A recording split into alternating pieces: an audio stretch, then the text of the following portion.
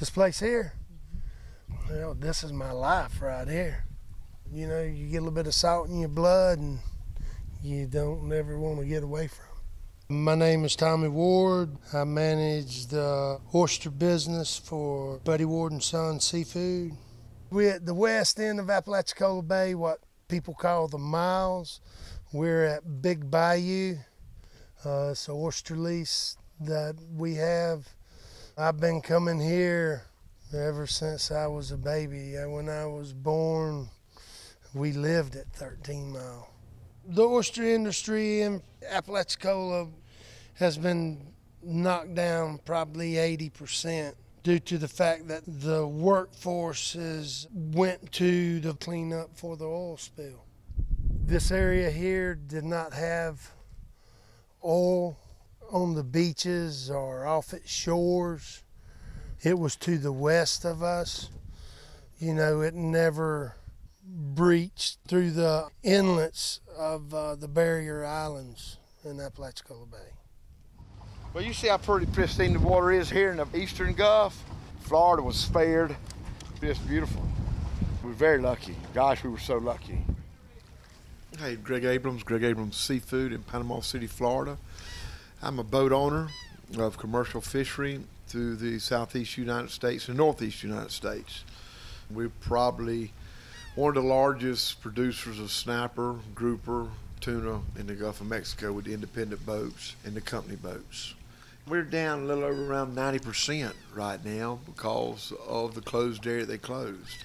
There just wasn't enough room for everybody to fish. Plus, BP hired a lot of the independent boats and uh, clean up. Commercial fishermen doesn't want to fish in the oil and catch contaminated fish. They got pride on their product.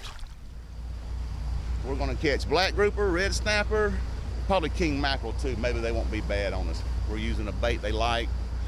I'm Mike Moore. We've got a southeast to a south wind today. It's not gonna be a bad day to fish. Okay, right now we're about 12 and a half miles off Panama City. We're roughly 195 miles from the oil accident.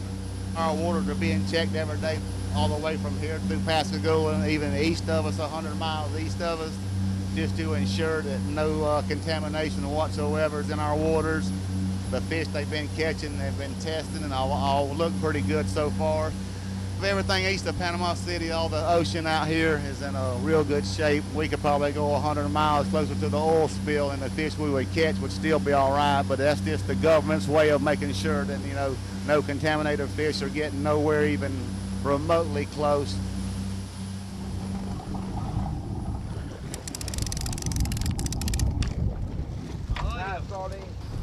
And that gorgeous fish right there, it's about a six, seven pound red snapper. That's as pretty as it gets. That's a class act fish right there. That's the best in the Gulf right here. Whole Foods, they come in with a attitude of the best. They like to be involved. They like to look at the facility. Like, like to go out and fish with you. They are they're 100% for their vendors. They want the best from their vendors, and they expect the best. So that's the kind of clientele they sell. They have the best product. They make sure they have the best product. We still have great seafood, great oysters that we're known for worldwide. The quality's still here. Yeah, I just pulled this oyster out and we shucked it out. And I'm going, I guess you can say I'm going to slurp it up now. hmm.